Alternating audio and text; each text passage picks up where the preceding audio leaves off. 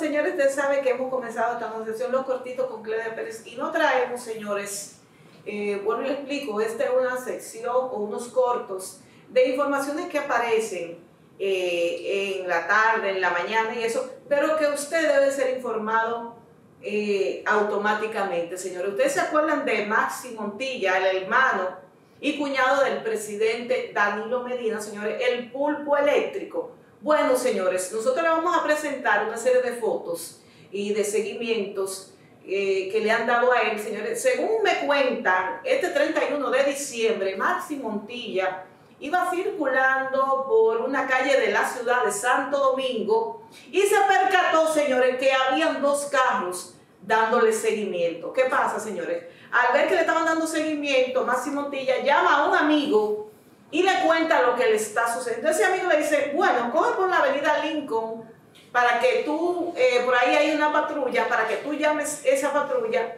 y lo pueda interceptar por esa avenida. Bueno, señores, así mismo lo hizo él, llamó a esa patrulla, llamó al 911, señores, y procedieron a interceptar a esos dos vehículos. Oh, señores, eh, dos personas que pertenecen al DNI.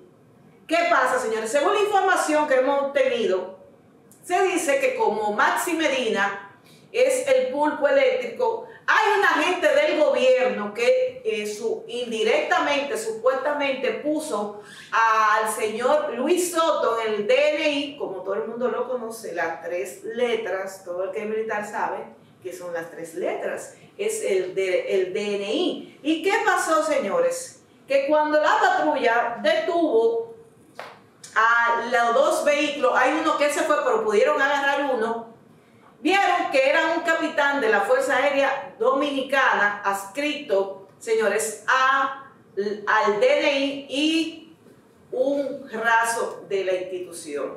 Así, señores, que esta gente se identificaron, fueron llevados, le vamos a presentar, eh, eh, en un momento le vamos a subir para que usted vea la secuencia. Cuando esta, esta patrulla intercepta a este capitán, señores, le, le tiraron fotos donde aparecen prácticamente encapuchados. Parece, señores, que Maxi Montilla iba a ser secuestrado o iba a ser matado en esa escena y como él se dio cuenta, señores, no pudieron hacer nada. Lo que dice Maxi Montilla es que como él está en el negocio eléctrico, que esa persona que es del gobierno, que es un exfuncionario del presidente Hipólito Mejía, que dice que él es que dirige el DNI y lo que quiere esa persona quedarse con el negocio que tiene Maxi Medina, que mueve, señores, alrededor de 5 mil y 6 mil pesos. Y de 6 mil pesos, señores, cada vez que hace una compra el Estado. Entonces, esta persona está siendo perseguida. Yo espero